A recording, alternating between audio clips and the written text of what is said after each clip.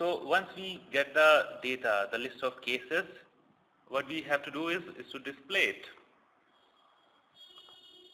So this is again standard HTML which you can see here. And after that we have something called aura render if.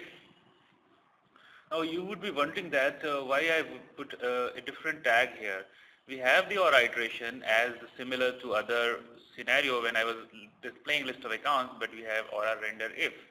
I will show you that. It, it would be better if I show you instead of explaining. If I refresh it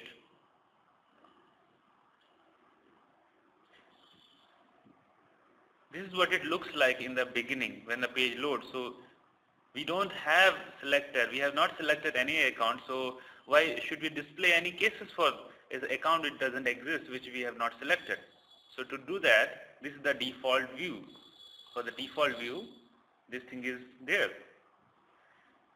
as I am checking the length of the cases here which would be 0 because uh, in the beginning the event wouldn't have fired so Aura handler wouldn't have have anything. So it wouldn't have have any cases. Hope it makes sense. In the beginning we don't have any data so we are checking the length of the cases and we are not displaying it. If and only if the list of the records, an account which has at least one case, we will process that, right? I will minimize this. So this is the entire view, right? Okay, so we got the data from the JavaScript over here and we assign it one alias. I thought it to make it case only. We have the default index property and after that this is standard HTML. This all Materialize CSS framework uh, classes which does the UI thing. You know, I didn't do much of the code to display this kind of UI. This comes out of the box because we are using Materialize CSS. So this is the case number because uh, what kind of data I'm returning is case number, contact name, subject, priority and several other data. So I picked one and I'm displaying case number. Then contact dot name subject case dot subject case dot priority. You would be seeing a difference over here. We have case dot subject, but we have case dot contact contact name, right?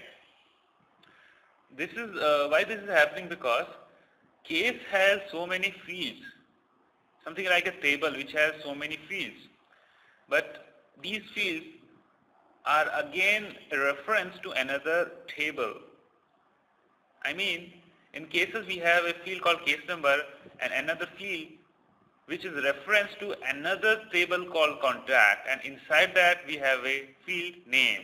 So to fetch that we have placed two dots over here. The same goes for owner name, right? So that's it folks. Uh, this is how this Lightning application is developed. I explained the code as much as I could. I will be uploading the source code in GitHub. You could have access to it. And it's very straightforward. Log into your developer org and copy paste this entire code. Just don't forget to include these static resources you could uh, grab them from uh, the Amazon S3 link I would be sharing. Just upload that, copy paste this entire code, run it, let me know if any issues and once you run it, you play around with this.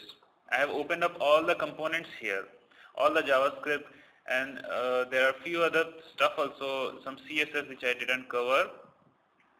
Uh, like uh, this one we have a rounded corner over here if you can see. So uh, this is happening due to some CSS. This is minor CSS. Uh, you can play around with this. After I upload the source code, you can see how everything is laid out. There are uh, some advanced stuff also inside in the CSS. Uh, I hope it wouldn't uh,